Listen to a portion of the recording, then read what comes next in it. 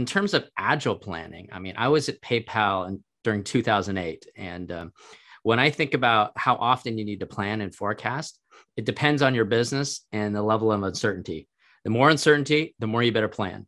Um, and in 2008, there was nothing but uncertainty, kind of like today.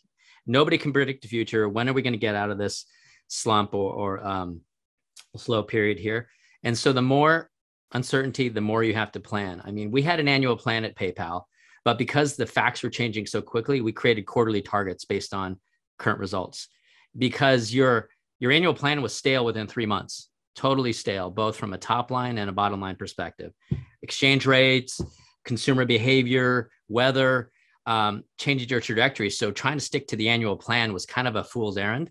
So what we had was we had an annual plan which we allocate resources to, and then you look at your quarterly results and you create targets for the next quarter for everybody.